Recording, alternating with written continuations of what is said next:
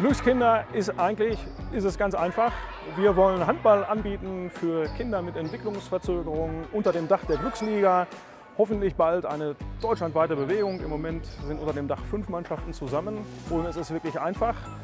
Ähm, wir gehen in die Halle, wir haben Trainer, die Lust auf das Thema haben und bieten Kindern mit einer Behinderung eine zauberhafte Sportstunde an unter dem Motto Handball ist für alle da und erreichen somit äh, Eltern, die äh, oft sich gar nicht vorstellen können, dass ihre Kinder in einen Sportverein reingehen können oder schlechte Erfahrungen gemacht haben, dass es halt nicht klappt, dass Trainer an Grenzen stoßen oder getuschelt wird, Spiel wird verloren und dann heißt es, ah, es liegt ja auch am Kind.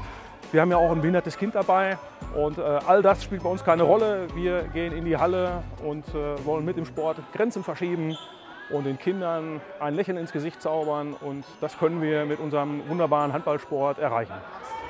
Hallo, ich bin Diana, ich bin Teil des Glücksliga-Teams, ähm, des Trainerteams. Und ja, ich habe hier im Hintergrund ein paar Stationen für die Kinder aufgebaut, einfach damit die Touren in der Beweglichkeit gefördert werden. Also für mich war es von Anfang an so ein Wow-Effekt. Äh, klar, die ersten paar Minuten haben wir wirklich erstmal nur auf der Bank gesessen, haben wirklich nur zugeguckt und haben uns das angehört, was wird gemacht.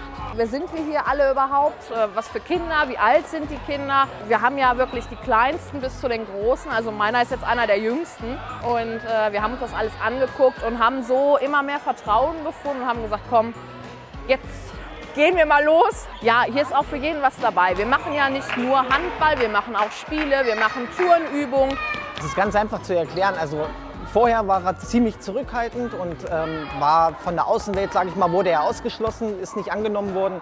Und seitdem er hier bei den Glückskinder ist, da ist er wirklich, geht auf andere Kinder auch drauf zu, ist viel aufgeschlossener, ist viel aufmerksamer geworden, weniger aggressiv. Ne? Also er hat da wirklich eine, eine positive Entwicklung genommen.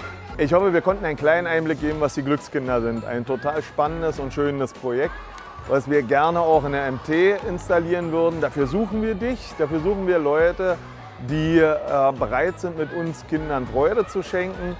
Du brauchst keine Voraussetzungen, du musst keinen Doktor haben, du musst kein Sozialpädagoge sein, du musst einfach nur daran Spaß haben, mit Kindern zu arbeiten. Wenn du Lust hast, mit uns das zu entwickeln, melde dich unter meiner E-Mail-Adresse und wir kommen ins Gespräch. Wir freuen uns auf dich.